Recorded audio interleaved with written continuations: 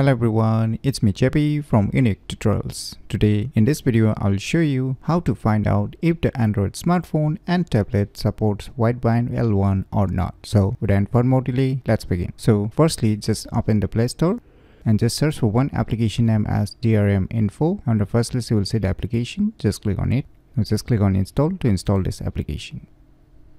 So once the installation is done, just click on open now you will see various information here. So just scroll down below now you will see here Widevine CDM. So here you will see one option written security level. So in my case it's showing L1. That means my Android smartphone supports Widevine L1. So if you see here 2, 3 that means your Android smartphones does not support Widevine L1. So by using this application named as DRM info you can easily find out if the Android smartphone and tablet supports Widevine L1 or not very easily. So if you never known about this cool application then you should definitely give it a try. So if you find this video tutorial useful, please click on the thumbs like button and if you're new to our channel, click the subscribe button and lastly, thanks for watching.